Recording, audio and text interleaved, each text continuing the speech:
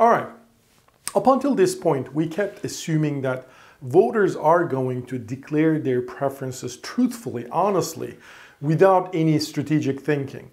But the question is, is it really the case? I mean, uh, are the voters really vote truthfully? Well, here's the question. Some voting, voting rules may actually uh, incentivize voters to uh, manipulate the system, you know, vote untruthfully. And some voting mechanisms or rules can actually give the, the voters incentive to vote truthfully.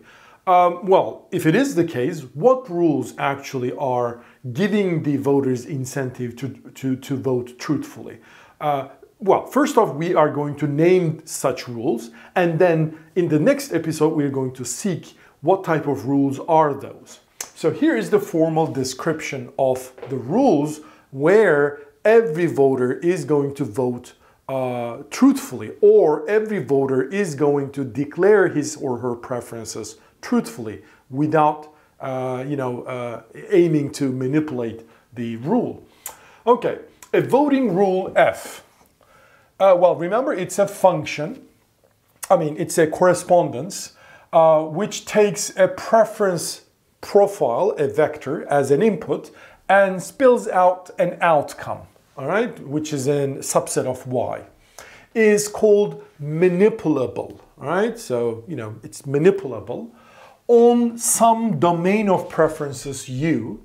So u is the preference domain for an individual. So here I take the cross product because remember there are n individuals. So preference of individual 1, individual 2, or voter 2, voter n, etc.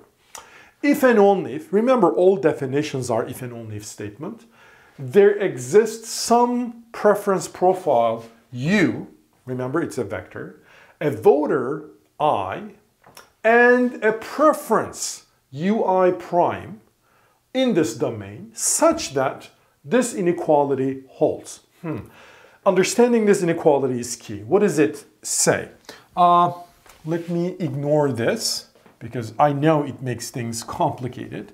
So on the left hand side, here I have the rule f is applied to preference, well, both rule are applied on, by the way, the same set of alternatives, Why? The only difference is the preference profile declared by the players. How?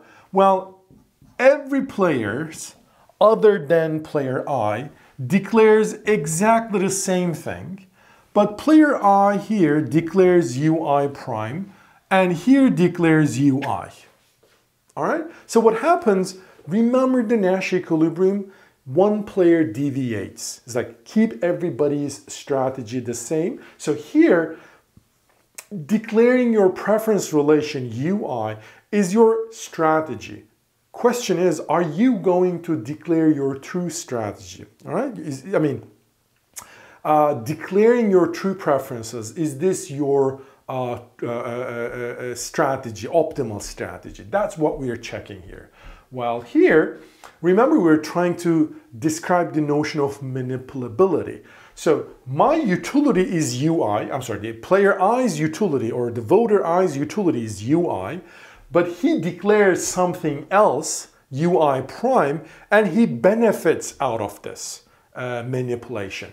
So how do I, you know, uh, uh, you know, mathematically describe he benefits out of uh, declaring something else? Well, remember his utility is UI. So this is an outcome. So whatever this outcome is, his utility is going to be bigger than his utility when he declares his uh, preferences truthfully. Okay? So once again, UI is, let's say, the true preference of player I, and he lies about it, all right?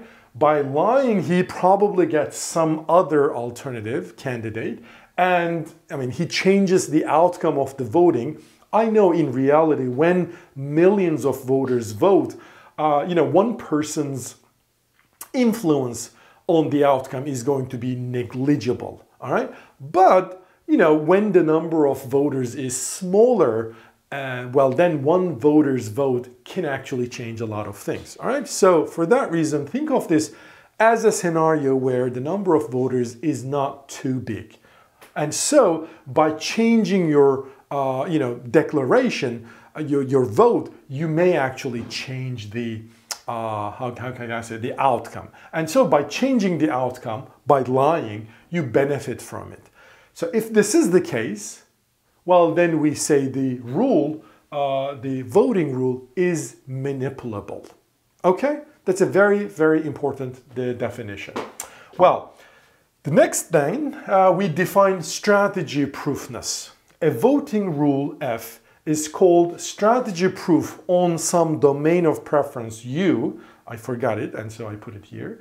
If and only if, again, this is a definition, it is not manipulable on this, on this domain U. Okay, so a strategy proofness basically means there's going to be no, sorry, no preference profile U, no voter I, no UI prime, which this holds. All right, so by lying about your preferences, voters may change the outcome but they're not going to benefit from it. And so telling the truth is the optimal action for each player at every point of time. Uh, let's think it this way. Okay, so a voting rule is strategy proof if and only if it is not manipulable. Well, um, the, the, the, definitions are probably easy to understand the intuitively, but mathematically it may be a bit more challenging. So give yourself some time to sort of grasp what they really mean. Uh, but in the next episode, I'm going to tell you what rules satisfy this nice property and, and under what domain of preferences. Okay?